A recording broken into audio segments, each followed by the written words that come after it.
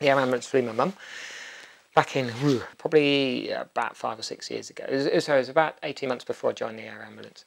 Um, one of the paramedics had come through to me when I was with the police and just said, We're actually going to your mum. They're meeting the ambulance in South Molton. And then now I've got a job with the police. So I was going in police aircraft one way and they were going in the air ambulance another way to pick up my mum. So that was quite hard to dig a little bit deeper within myself to focus on the job. Um, but I knew that she was in safe hands and everything else. And they, they flew into RD&E gave her, uh, she had four or five stents in the end um, and lived another three years, four years after that. Um, so that was definitely the confirmation that, yeah, it, it touches me because I, I, I've benefited from the service as well. But also, growing up down here, it's so rural and we're so remote that air ambulance is definitely bringing a huge amount out to the communities. Um, and what's changed in the last sort of six and a bit years I've been with them is, is, is huge. We've gone from just an air ambulance, so we would just fly to scene, quickly patch up the patient, take them to the nearest hospital. We are now a mobile hospital, so we bring hospital level care to that patient. So you've got anaesthetist doctors, they'll open hearts up, they'll pull legs, do stuff. They can the drugs that they carry can do certain things that wouldn't happen probably three or four hours down the line would being able to deliver this on scene.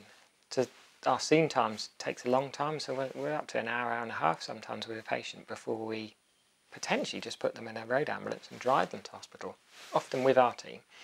We don't always fly them anymore because it's sometimes it's better for the patient, it's, it's less stressful, we can stop at any moment in the in the road ambulance, um, and they can they can spread out more and they can do do more things.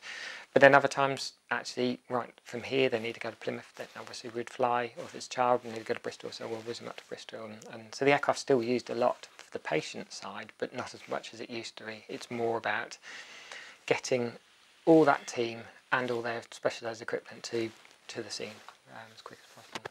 And there's a huge sense of ownership around Devon, isn't there? Yeah definitely. I think more than most other charities, uh, air ambulances sort of charities around the country, because I think we're the, the only ones that we own the helicopter, or the helicopters now. Um, all the pilots are directly employed, all the paramedics now are directly employed by the charity. We've got the, the shops, the 18 shops around around the county. Um, and I think most people feel that they either directly been touched by it or they know someone that has been. Um, and and now that I think because the paramedics and us are all in, directly involved with the charity more, and we all live locally, so we're all sort of embedded in our communities and stuff. So they, they really feel they, yeah, they know someone in the, in the charity, or we know. Obviously, lots of people know people who've been affected by it.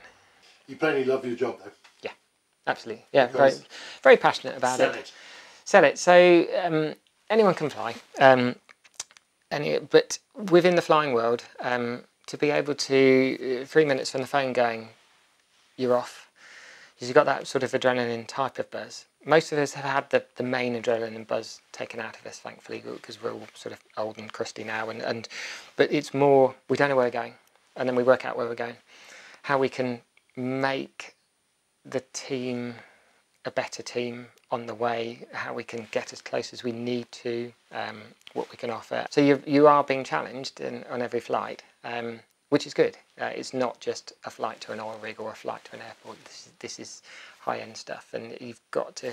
There's lots of dynamic thinking and lots of doors closed, and how can I get around that regulation? Or you've got to be very wary that everyone's got a phone and everyone's got a camera on that phone and everyone's taking pictures all the time. So you have to comply and you have to make sure that you're you're not a cowboy and you're doing the job properly. And hopefully, um, that's why we get tested. That's why we select the people we do for for the air ambulance. Um, that um, everyone is a professional and, and gets the job done.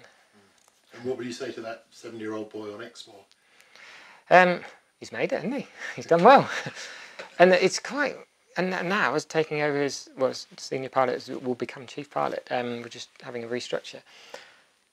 It, I, I, I still pinch myself, going, "Is this really me?" That um, there was me just driving the tractor at sort of 13, 14, cutting the grass, looking at the planes and helicopters going past, thinking, "Yeah, I'd love to do that." And yeah, I am actually in there. I was still fascinated by tractors as well, but uh, yeah, no, it's, uh, it's it's a lovely job.